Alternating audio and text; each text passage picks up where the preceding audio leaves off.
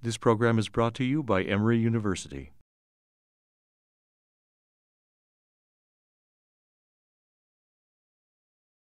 Good morning, everyone. Welcome to Heart and Vascular Grand Rounds. Um, this morning we have uh, someone who's a familiar face but is visiting us from another institution.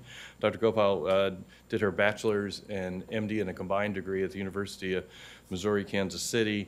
Uh, came here for internal medicine, cardiology fellowship.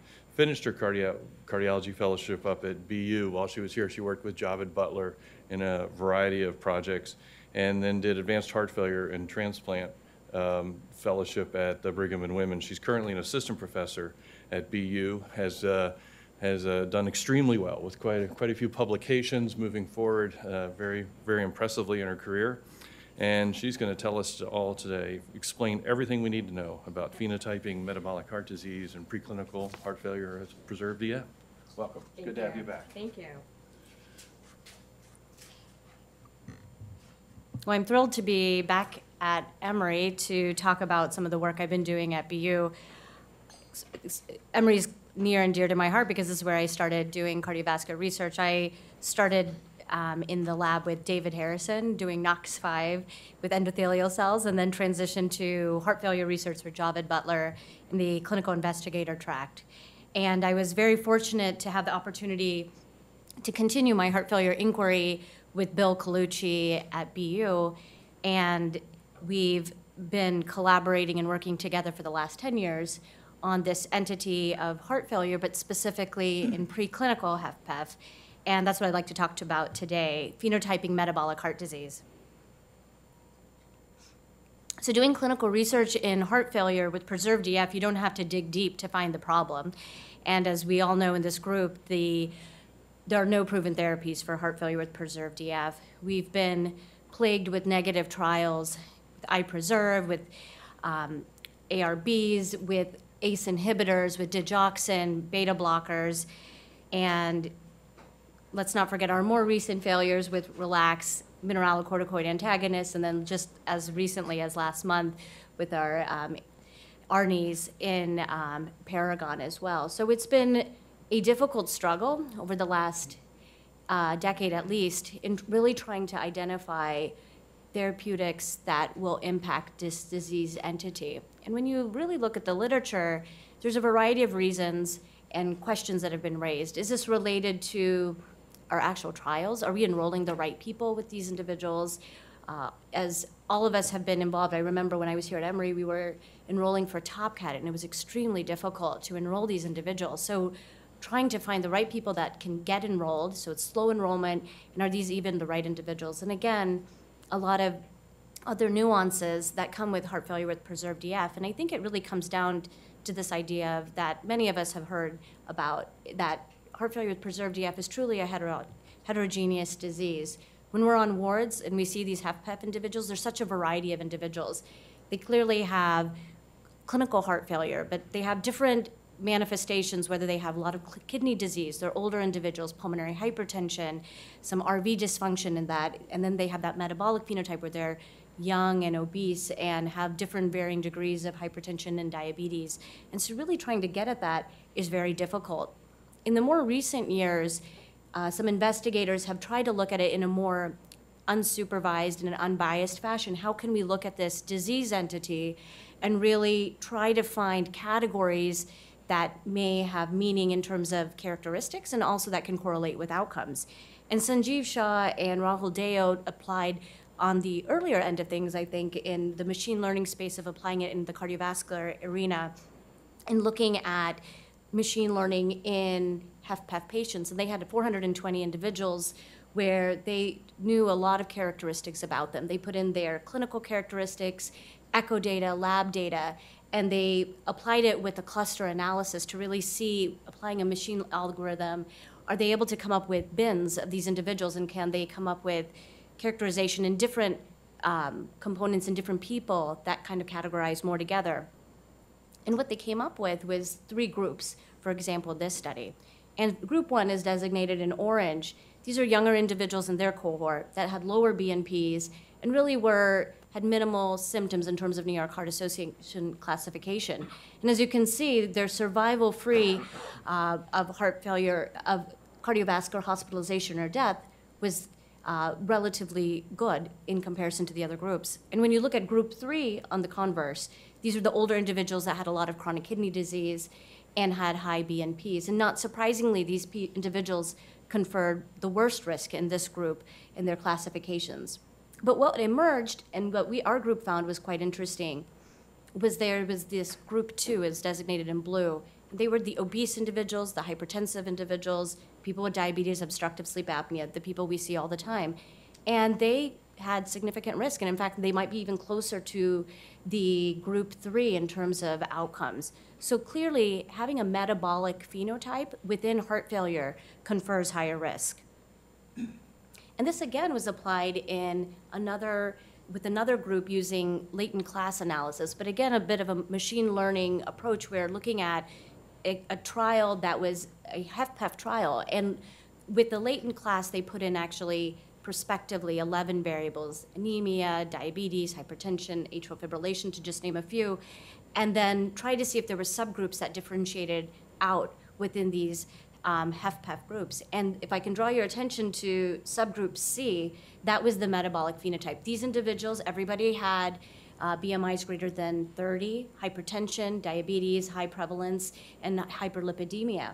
And in this, in Charm Preserved, these individuals conferred the highest risk, and this was event-free survival in terms of these Kaplan-Meier curves.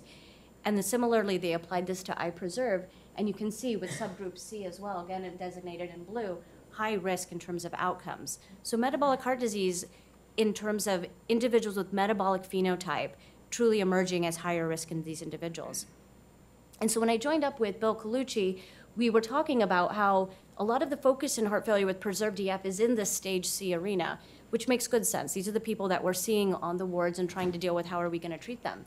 But what if we actually moved the lens into more of the stage B arena, where these individuals have abnormal structure and function, but haven't ex- exhibited heart failure yet? And what, if we are able to identify them, could we actually intervene earlier and be more successful? And really, it made me think of this um, cartoon, which is a, really a favorite movie in our household, and it's WALL-E. And these individuals are completely never moving around. They're very uh, non-ambulatory. And if you had, this is the question at hand, is if you have two obese individuals that walk into your clinic, which individual is more likely to have HFpEF? And could you say that right now? I think we don't have an answer to that, and we wouldn't be able to predict which of them might be at higher risk. And so our question was, which of the individuals have preclinical HFpEF? And what exactly is preclinical HFpEF? So before my time uh, joining uh, Bill Colucci's lab, he had been thinking about this idea of what happens when mice eat American Western diets. And so what they tried to look at was with high-fat, high-sucrose mice, do, what is the cardiac manifestation for that? Just simply introducing a diet. And what they found is in the white bars designating the wild type mice and the hatched lines being the high, high sucrose mice, you can see that there's an increase in wall thickness, and this is two months, five months, and eight months duration. And when they evaluated these mice, they had larger LV and diastolic diameters and systolic diameters and relative wall thickness, meaning they were truly remodeling more of a concentric phenotype. And they remain preserved. When you look at the LV fractional shortening, it was really relatively preserved. So maintaining a diastolic phenotype. When they looked at diastology, again, high fat, high sucrose is designated in the hatch lines, worsening diastolic parameters, increase in your deceleration time, increase in your IVRT, suggesting early diastolic abnormalities. E to A ratio was reducing, and your E prime was reduced in your high fat, high sucrose model. And when they did pressure volume um, assessments with Langendorff um, um, experiments, what we found was that the uh, triangle designating the wild type and the diamond, it's a little bit hard to see here, but it's the more leftward um, of the curves, that the systolic pressure generation was higher at lower volumes, as seen in panel A and panel C, but not statistically different. But what, what did emerge was clearly the classic diastolic um, pressure volume relationship where you have that upward and leftward shift that we see in our end diastolic pressure volume relationships. And that really signifies a stiff ventricle and lack of compliance, and we were seeing that in the high-fat, high sucrose model. When they looked at the myocyte diameter, they found that these myocytes were hypertrophied, larger, and in addition, they had higher degrees and percentage of cardiac fibrosis. So fibrosis was clearly a component of this. These, these mice were heavy, they had abnormal glycemic indexes when they measured their um, glucose levels as well. And when trying to look a little bit at mechanism as well, they did find that there was increased oxidative stress in these models as ascertained by nitrotyrosine staining and HNE in terms of lipid peroxidation byproduct. So oxidative stress seemed to be some component of what was driving these abnormalities. We saw thicker hearts, concentric remodeling, and abnormal diastolic dysfunction. So when thinking of that, with what they found in the lab, uh, Bill and I then sat down and tried to think about how could we translate this out into a clinical cohort? What would preclinical cardiac lesions be that we think would predict best um, heart failure with preserved EF and specifically with metabolic disease in the background? And what we really thought made sense was diastolic dysfunction. I think everyone would agree that diastolic dysfunction's presence, it used to be part of the diagnosis for HFpEF in some of the earlier guidelines. And its presence clearly confers increased risk in terms of mortality. Very much so, many epidemiologic and community cohorts verified its relationship with incident heart failure. Um, so clearly, the presence of diastolic dysfunction is an important preclinical lesion. The presence of LVH, we know, is very much a, also a strong predisposi- predisposition to heart failure with preserved EF development. Many multiple, many and multiple studies have looked at LVH presence, always hypertension. We know that hypertension has the highest attributable risk for incident heart failure. It's been shown decades ago, even with some of the earlier studies in Framingham. But the presence of heart failure, um, LVH, excuse me, in HFpEF is highly prevalent, and even more so than individuals that just have hypertensive heart disease um, without HFpEF itself. And then lastly, the presence of pulmonary hypertension. I think we've had a better understanding in the last decade about the importance of pulmonary hypertension. We clearly know there's a higher prevalence of pulmonary hypertension within patients who have HFpEF compared even to those that just have hypertensive disease and have not had uh, hypertension. And even the presence of hypertension in the community can confer 10 millimeters of mercury um, increase can confer over a 2.7 fold higher increase of mortality in community cohorts. So clearly, the presence of pulmonary hypertension confers risk, and we know associates very strongly with HFpEF. So in thinking of these preclinical lesions, we then sat down and dis, uh, designed our study, which is what I worked on when I first went up to BU. And we came up in our BUMETS, it's a BU metabolic heart disease study, where we essentially tried to go after these individuals and recruit to have a cohort that we could really analyze. So we recruited individuals between 2010 and 2014. And really trying to look at that metabolic phenotype, we went after individuals who had metabolic syndrome. We were recruiting these individuals from outpatient clinics, mainly um, the endocrine clinic and the weight loss clinic, some in cardiovascular clinic, but mainly because they were being managed with some element of hypertension. And metabolic syndrome, as you all know, it's the waist circumference, 88 centimeters for women, 102 for men. They had uh, low LDLs, uh, increased triglycerides greater than 150, diabetes, either presence of a fasting glucose greater than 100 or the presence of an anti um, a hypoglycemic agent or hypertension, again, greater than 130, systolic blood pressure, or on at least one antihypertensive medication. So if they had three out of five, they met the metabolic syndrome and they were considered, um, we could include them. We also wanted to tease out a little bit about the diabetes question. There's a lot of literature in the basic science world about diabetic cardiomyopathy. They tend to be a diastolic model that has a lot of fibrosis. And how diabetes plays into that can be somewhat nuanced. So we just wanted to see what the impact of just being obese with one or two risk factors and not having diabetes, how those people look like from a cardiac phenotype.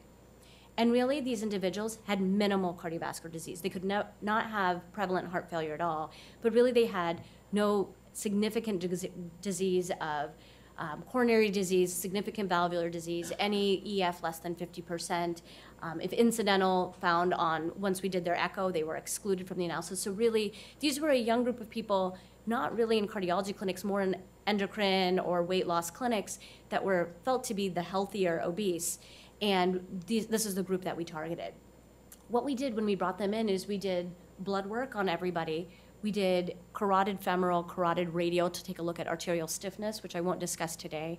And then we also looked at echocardiography to just really get an understanding of how these individuals without any known cardiovascular disease, how do they look from a cardiac structure and function perspective?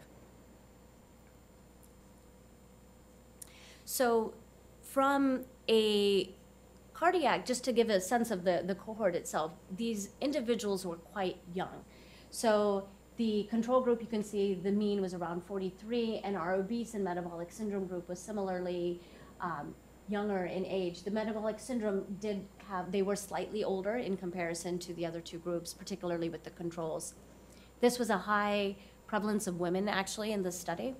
And we were um, pleased to see that the group represented our demographic that we see at Boston Medical Center, which is very similar in some ways to Grady. We have a, it's the City Hospital of Boston and high immigrant population. We have a lot of Afro-Caribbean uh, immigrant population that come and get their care at um, BMC. So very high prevalence of African-American um, participants, in which we do see an enhanced phenotype of the metabolic risk that has been seen in epidemiologic cohorts with um, African Americans.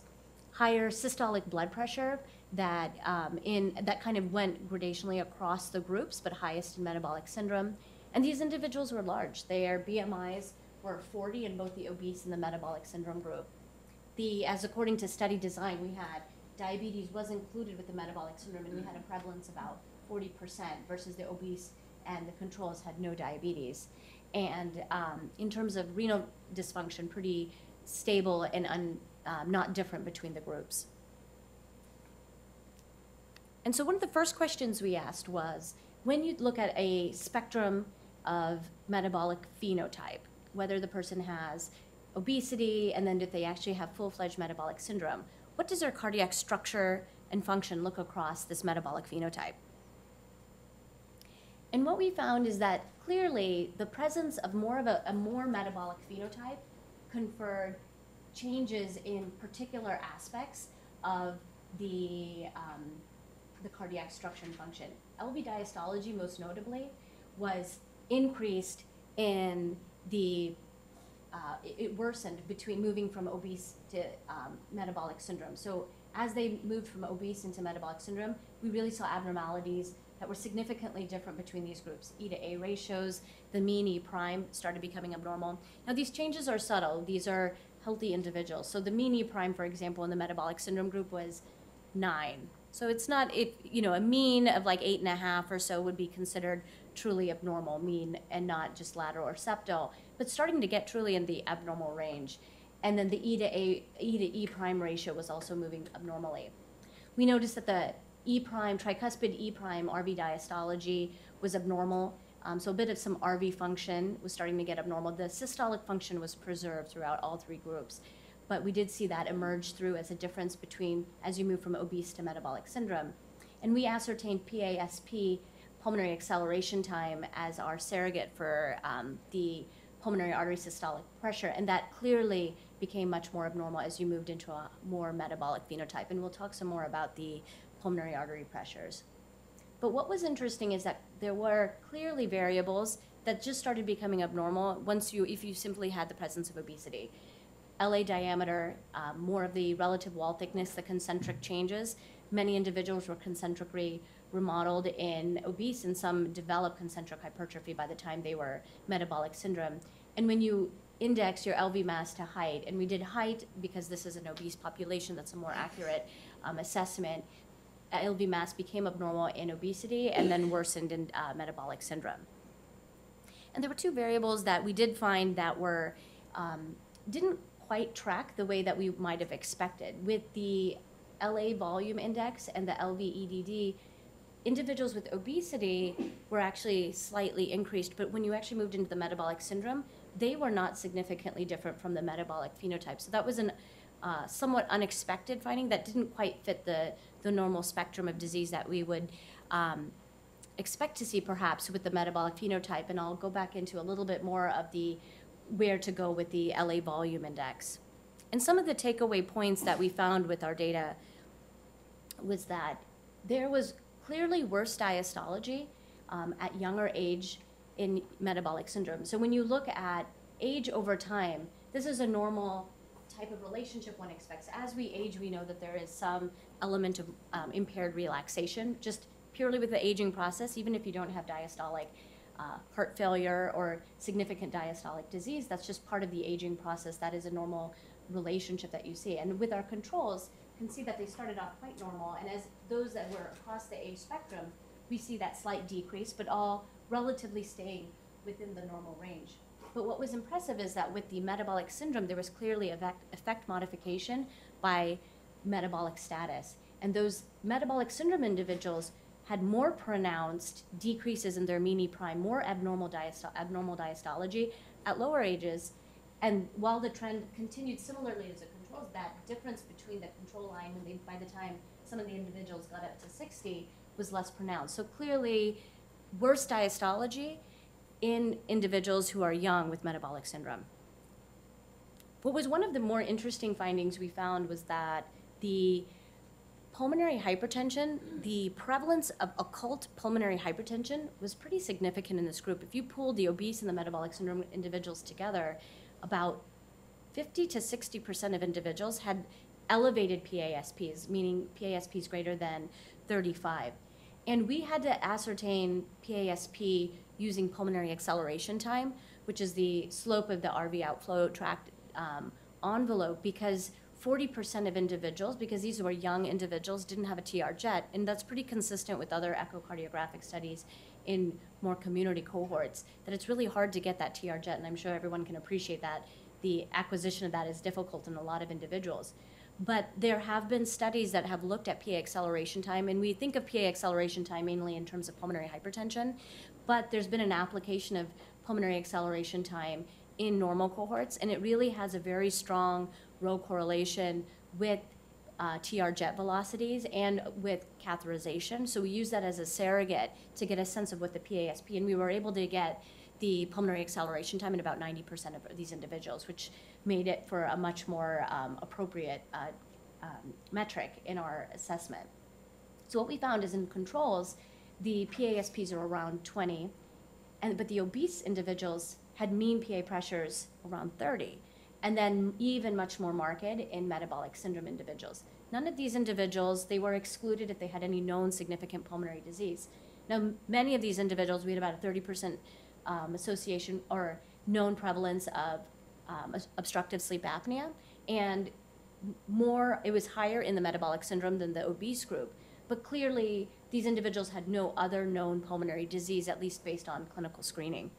And what we found was that in age and sex adjusted models, the PA acceleration time, the shorter the PA acceleration time, the higher the PASP, was about 26 milliseconds lower in uh, metabolic heart disease patients when compared to obese. And this held true for multivariable adjusted models, and in addition with multivariable and LV parameters, really suggesting that PASP and metabolic syndrome really were associating in even when adjusted in multivariate analysis. So then the question became, so we have seen that metabolic disease uh, the cardiac, abnormal cardiac structure and function clearly worsens with a worsening metabolic phenotype. But there are very much a high uh, percentage of individuals that are just obese that don't have metabolic disease that are already developing abnormal structure and function. So by just looking at metabolic syndrome, we're missing a group of individuals that are already very much at high risk for preclinical heart failure.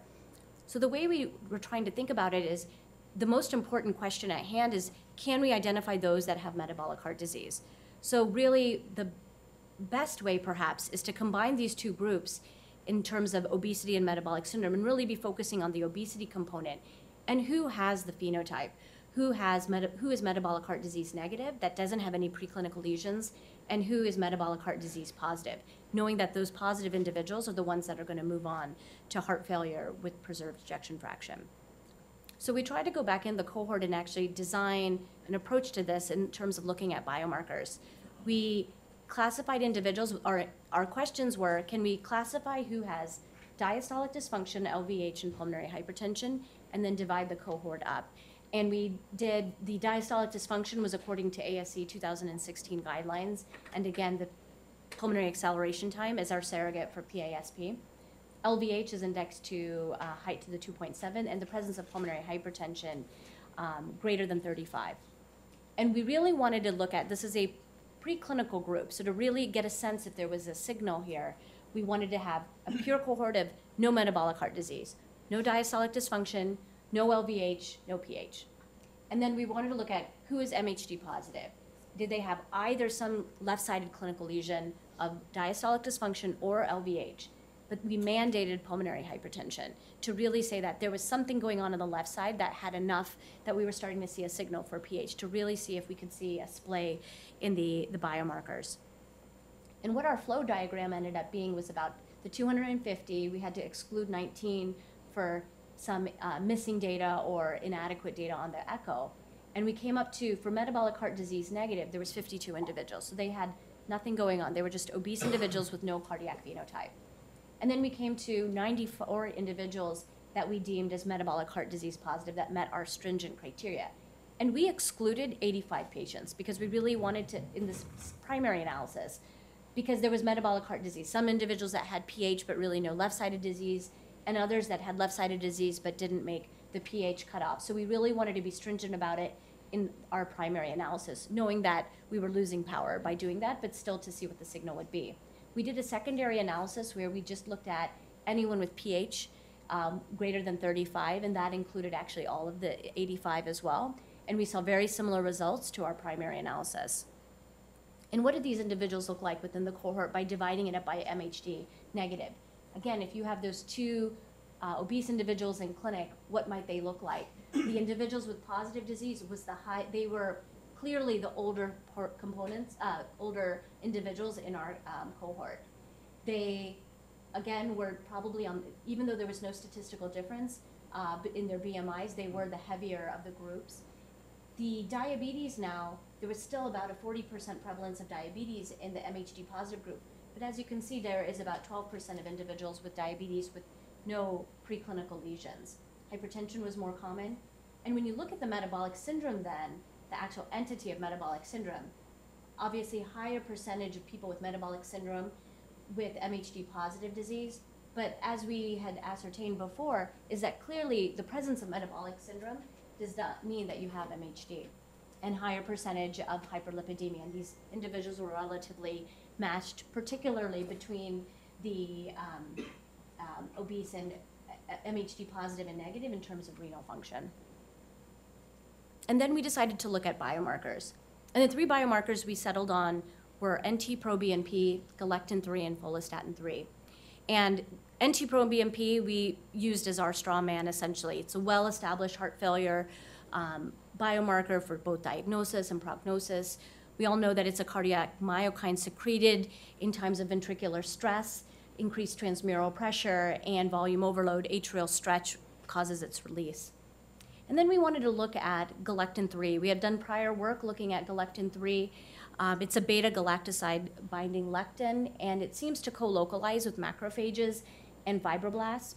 The one issue with galectin 3 is it's not necessarily cardiac specific. It's expressed in a variety of tissues and in a lot of entities that have fibrosis, cancer, um, various cancer um, studies have found galectin-3 association. So again, it doesn't quite have that specificity with cardiac um, tissues per se, but there are many animal models with galectin having um, galectin infusion um, that can be adverse for cardiac function and also uh, galectin knockout mice, and those have been associated with um, attenuated hypertrophy, decreased fibrosis, and like TAC-associated models.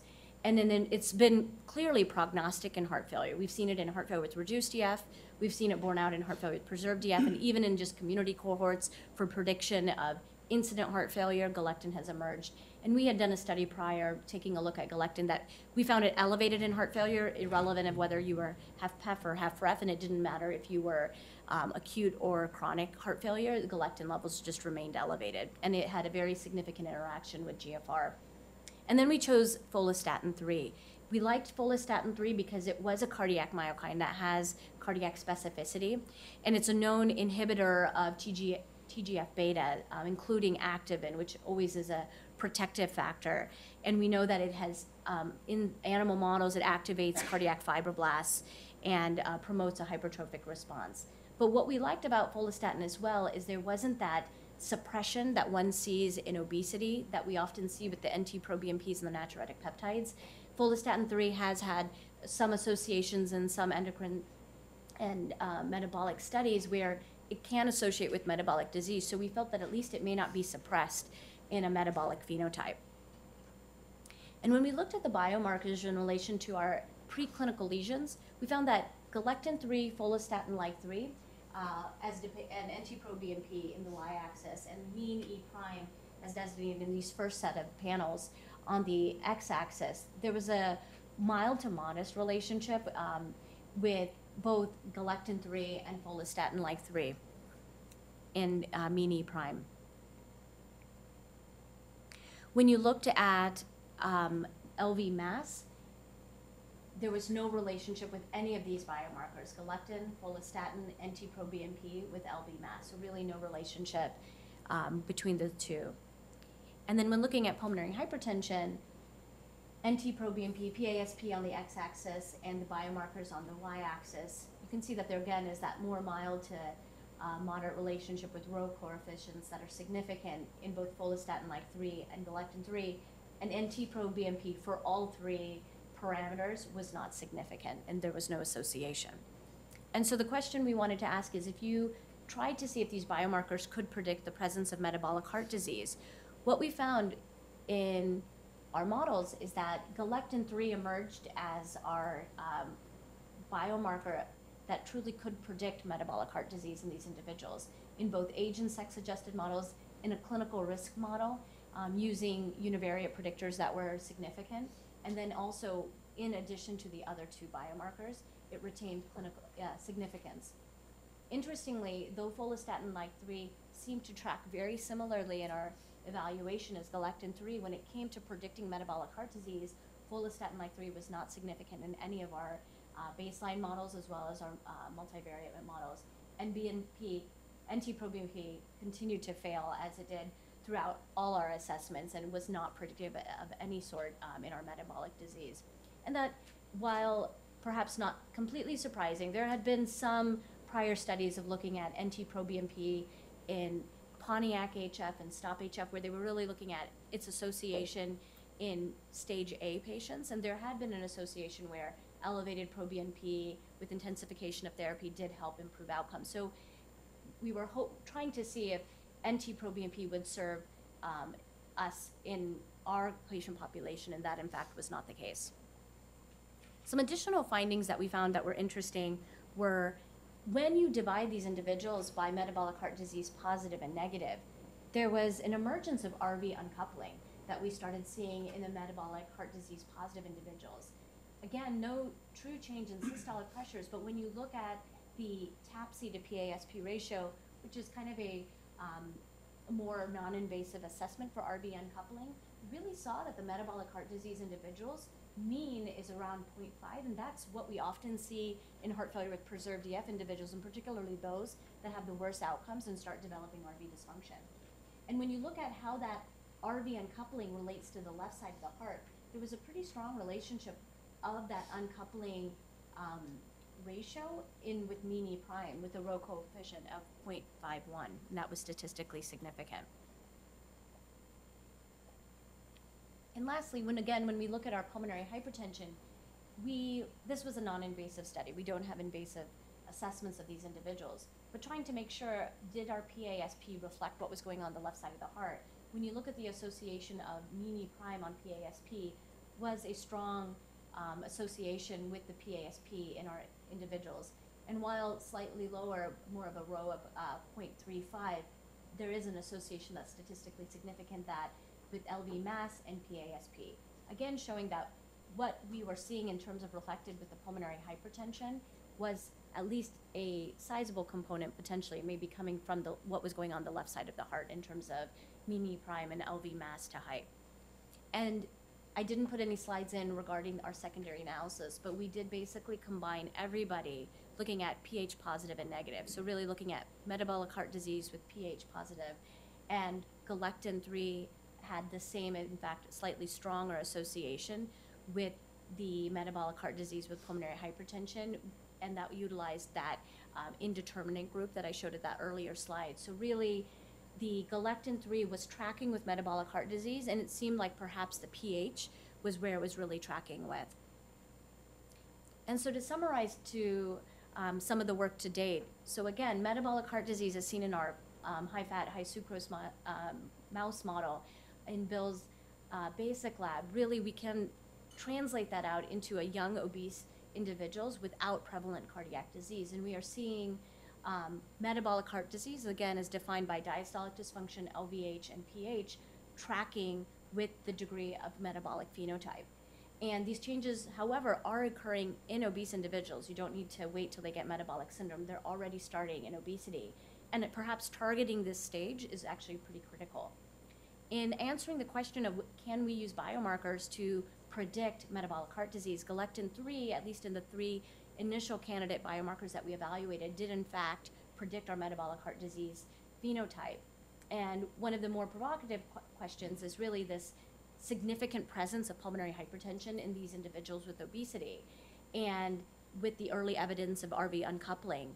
And what needs to be better evaluated is what is this mechanism of pH in these individuals? And we need to also do perhaps better RV characterization to see um, more sophisticated mechanisms of evaluating the RV. Are they actually abnormal? And I did want to take a few minutes to talk briefly about our next steps and what our current line of investigation is. And it's been really looking at the mechanism of pH and metabolic heart disease. One thing that we saw, and I had mentioned it in the prior slide in looking at the metabolic spectrum, is we saw that the LA volume index in people who had metabolic syndrome wasn't particularly dilated. And that was something that we couldn't put our heads around because if we're arguing that there's significant left-sided disease in terms of diastolic dysfunction and LVH, we always talk about the LA being a reflectant of that kind of pressure. They should dilate.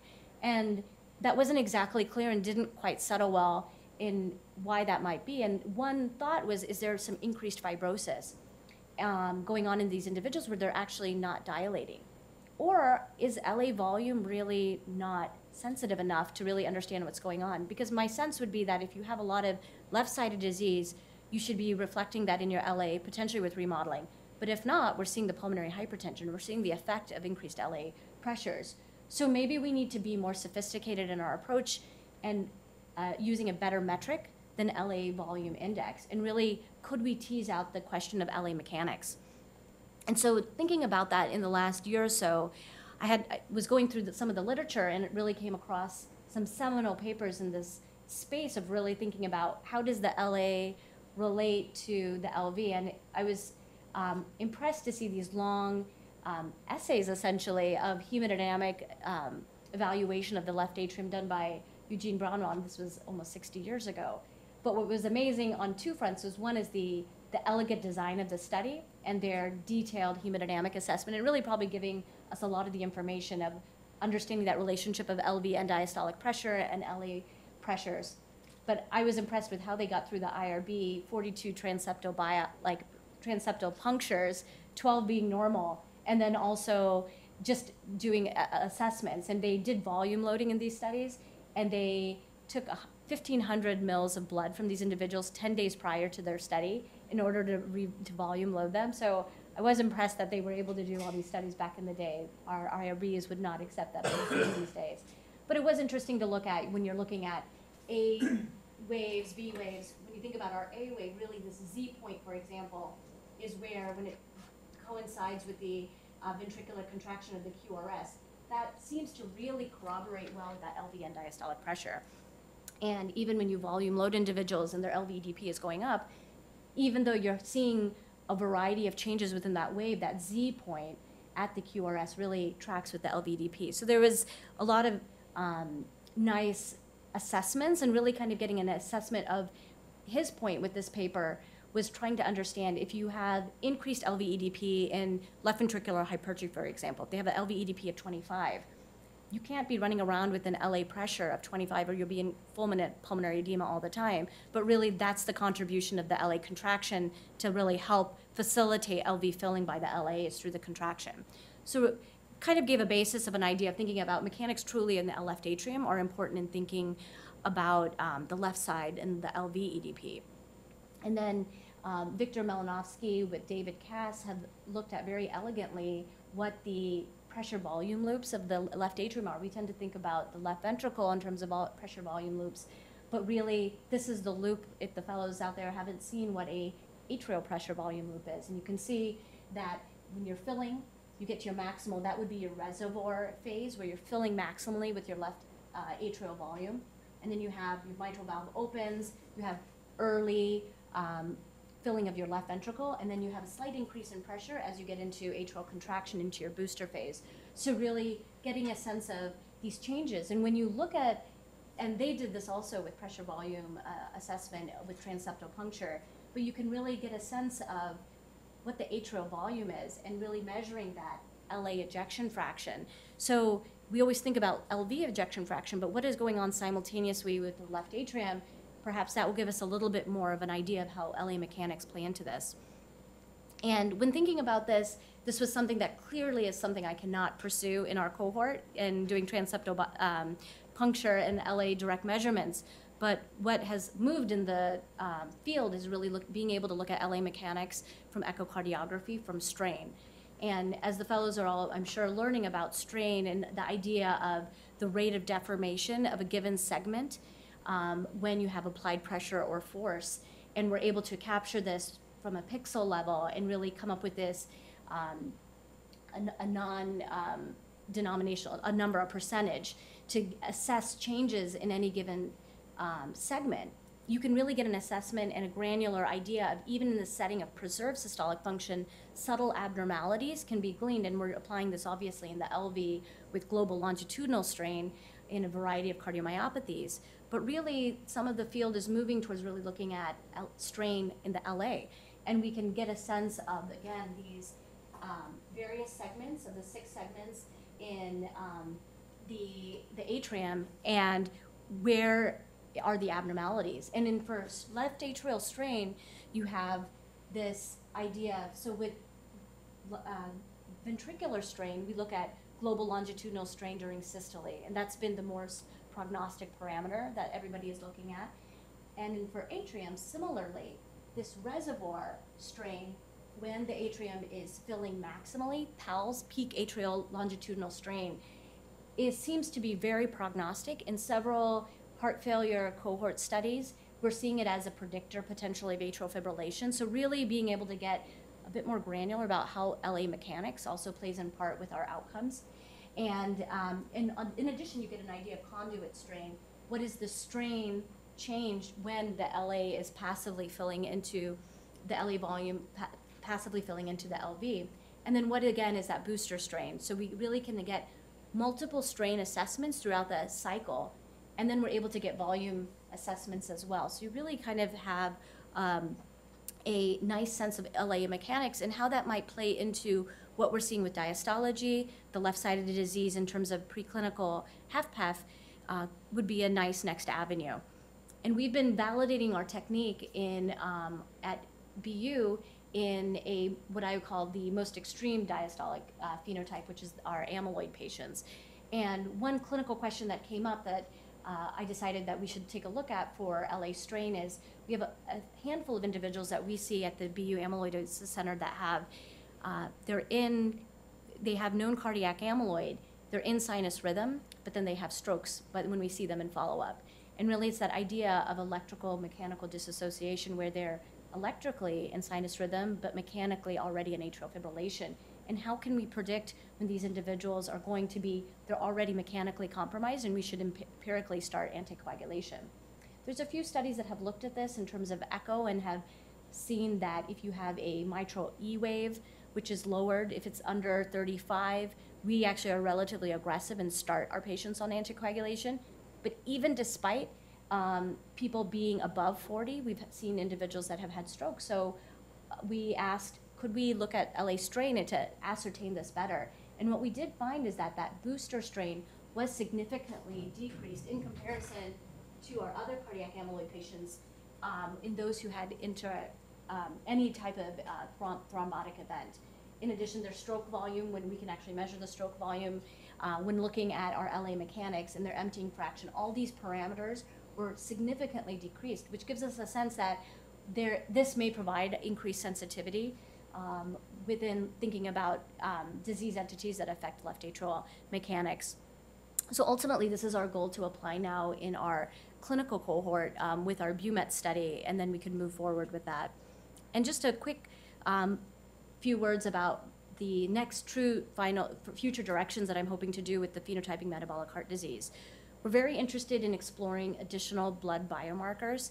We did a candidate three biomarkers on our initial um, kind of evaluation, but we have had some in a pilot. We've had some um, very suggestive um, leads with GDF15.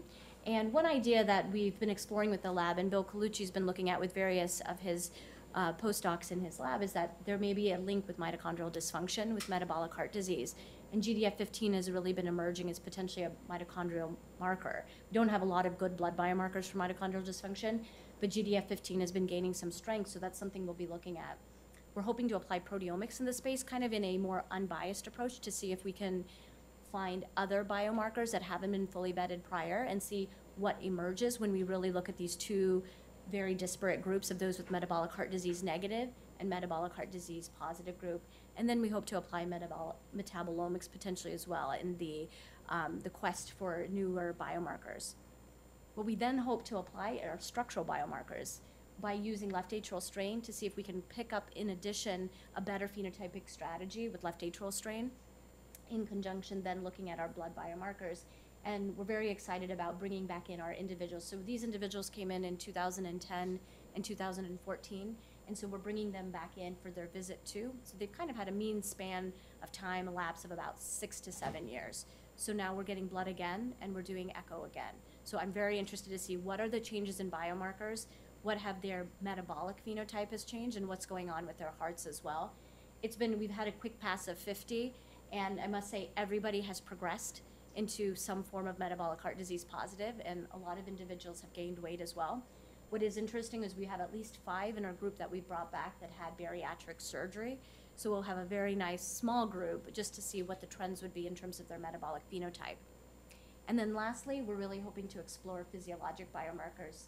Um, my colleague Nir Ayalon and myself are, have spearheaded and actually the last year have been able to start our um, invasive physiology and hemodynamics lab, where we're going to be doing invasive hemodynamics with cardiopulmonary exercise testing. We're going to be looking at individuals with dyspnea, but we hope to have a fair amount of these individuals that are metabolic and to really understand what is driving those pH, to really look at it with invasive um, parameters. So we just had our first case on Friday, so we're thrilled that it's moving, and so we'll be doing this once a month to really get a sense of things. And what I also hope to do is to really look at now that I have invasive, potentially in a small group, I can see how that relates to left atrial strain. So we get a non-invasive mechanism of what we can get some more insight of what actually might be going on from an invasive standpoint. I'd like to just acknowledge our group, Bill Colucci, who's been my mentor for the past 10 years and is also my chief mentor for my HA Fellow to Faculty Career Development Grant.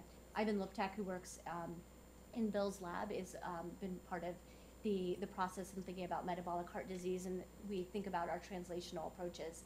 Vanessa Silva is my research coordinator, and Nir Ayalon joined at BU the same year I did, and we've been together for the last 10 years as well, so he's been a great partner. Thank you so much for this opportunity. I'm happy to take any questions.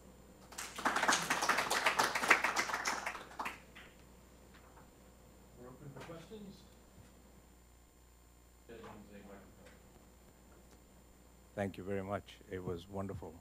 Um, I I just had a couple of thoughts about uh, mechanistic thoughts, really, about what you was, because that's what you're looking at. Um, We have done a study years ago which showed that oxidative stress measurements as a biomarker were highly predictive of pulmonary hypertension or pulmonary artery pressure, even in people who didn't have any of these things.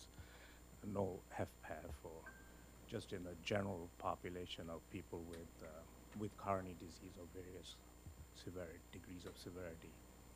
And um, it also predicted incident AFib as well. And when you think about metabolic disease, it really is a systemic disease. Absolutely. It's driven by um, glucose, fat, and so on. Right. And the heart is just one of the many organs that is being affected by this, like the kidney and the liver. Peter is sitting here, he's agreeing with me. Um, and um, so it's, it's so concentrating only on the myocardial structure and how things are dilating or not so well dilating is probably limiting your um, ability to detect progression and all those other things. Mhm. And also, uh, HFpEF is probably dictated largely by what's happening in the arteries against which the heart is contracting.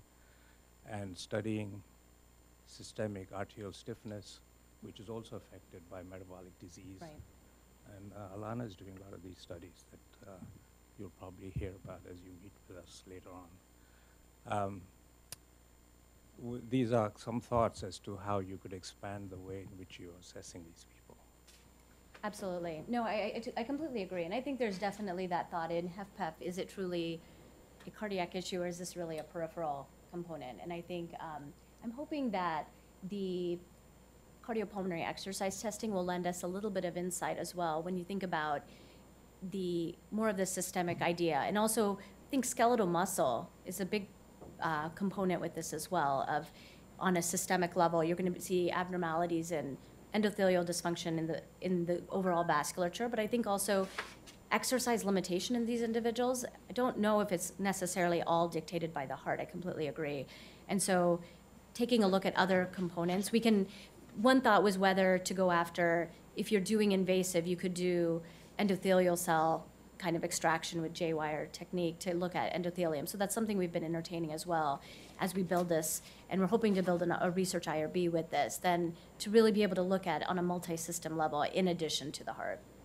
The lack of link between pulmonary hypertension and uh, the left atrial size that you were finding, um, one of these things, one of the reasons could be sleep. You know, one of the things that happens in obese people is they sleep badly.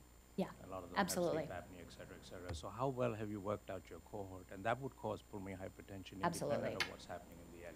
Absolutely. And that's essentially why we have decided to move forward toward an invasive approach. So then you can really tease out if you're seeing abnormal um, left atrium kind of mechanics, what is going on with the pulmonary system, and is this disproportionate?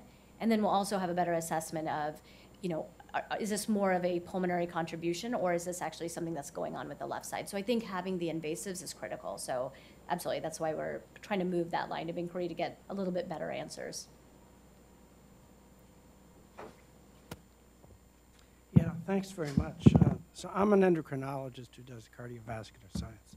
And I would encourage you to get cleaner metabolic syndromers. I think you can guess where I'm going. Because you have so much diabetes in some of your key groups.